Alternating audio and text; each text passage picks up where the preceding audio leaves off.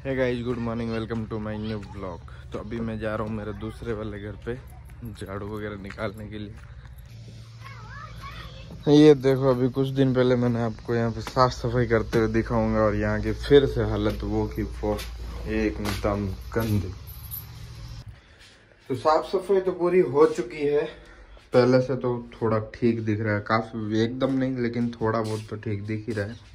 Mummy आएगी यहाँ पे दिन में काम करने के लिए और मैं भी जाऊँगा आज दिन में काम पे। तो चलते हैं और नहा लेते हैं। हाँ तो नहा के तो तैयार हो गए हैं, लेकिन चक्कू। नारायण लक्ष्मी को खाना दे देते हैं भाई। खाना तो इनका यहाँ रख दिया है, लेकिन अब इनको ढूंढना पड़ेगा। कहाँ कहाँ है? वो देखो, एक तो ये बेटा, नारायण है ये। लक्ष्मी को ढूंढना पड़ेगा। अब लक्ष्मी को भी ढूंढ लेते हैं, क्योंकि ये जंगली कछुए हैं, इसलिए ये पेड़ पौधों में ज़्यादा घूमते रहते हैं। और हमारे यहाँ एंड से लेके स्टार्ट तक पौधे ही पौधे ये देखो। ओ, मैडम जी, यहाँ क्या कर रहे हो? चलो। लक्ष्मी। हाँ तो गई तैयार काम पर निकलने के लिए ये वाला काम अपन रात को करेंगे। रात को नहीं, शाम को कर लेंगे। अब इसके बारे में तो मैं आपको क्या ही कहूँ। यार रोड की तो बाट लगा रखी है इन लोगों ने। एक नंबर। बीच में से शॉर्टकट लेना पड़ेगा ऐसी रोड पे तो नहीं जा सकते अपन। ये अपन यहाँ से लेंगे शॉर्टकट है तो लॉन्ग कट बट शॉर्टकट ये आ गए अपन अपनी साइड पर और यहाँ हमें देखना है। वो वायरलेस डिवाइस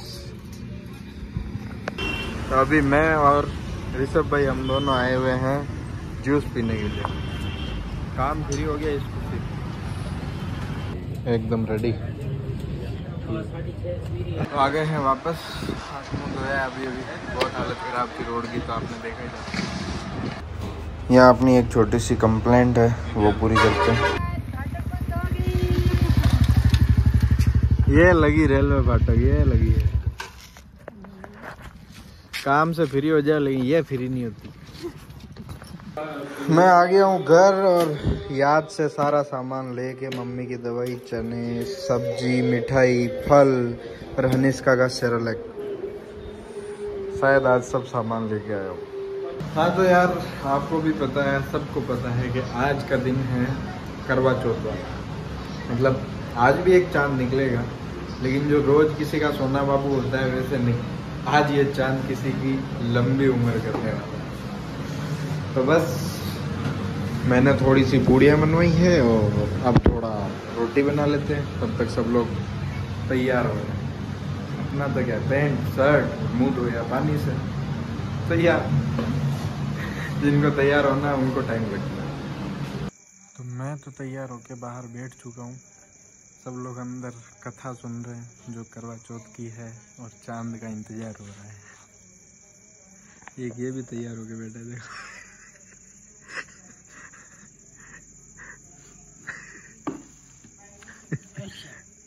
यहाँ से तो सब कुछ बाहर जा चुका है और फाइनली चाँद निकल गया अब हमारी ज़रूरत पड़ेगी। तो ये है हमारे गाँव की करवा चौथ।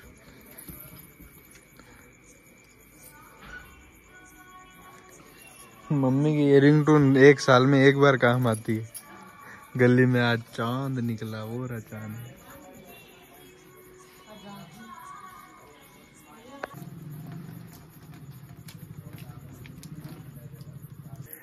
मम्मी की गली में आज चाँद निकलेगा।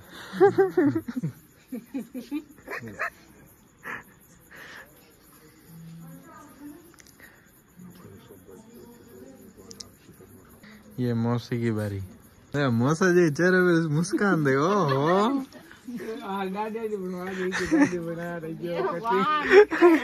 ये व्रत सफल हो गया मामी जी का भी व्रत पूरा हो गया।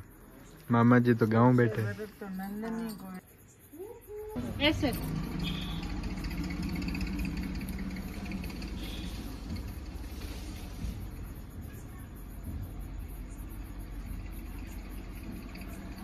मेरा भी व्रत सफल फाइनली करवा चौथ पूरी खाना खाना बाकी है।